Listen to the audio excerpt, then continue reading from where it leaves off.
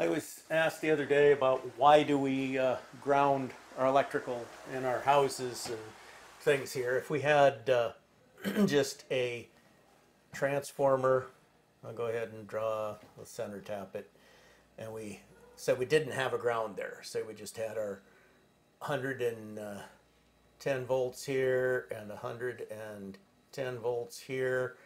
We could still have a neutral that was not grounded and this would be relatively safe in itself because if nothing is grounded, it's unlikely that you short out anywhere and have a problem as far as electricity conducting to you because you'd have to short it out, say this part here to ground and then something else to ground before you would have a real problem with getting shot. So people say, why do we ground the darn thing then? Why do we make it more dangerous? Well, you got to look at the overhead lines. What's going on with the rest of this?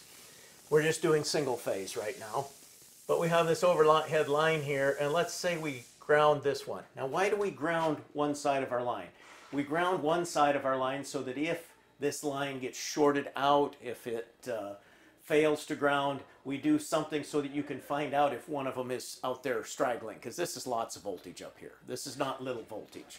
And one of the lower, I think it's 4640, but I'm not going to say, I'm just going to call it 4 kilovolts just in general.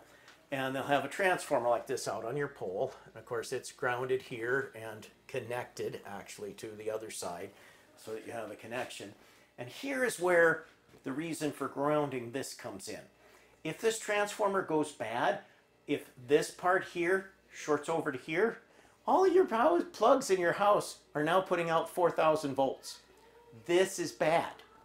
If we connect a ground here also. If it shorts out over to here, it immediately trips, uh, thered be a fuse. Actually, there'd be a fuse in the circuit up here, and that will blow, and you'll see that pop at your transformer because there's too much load on it.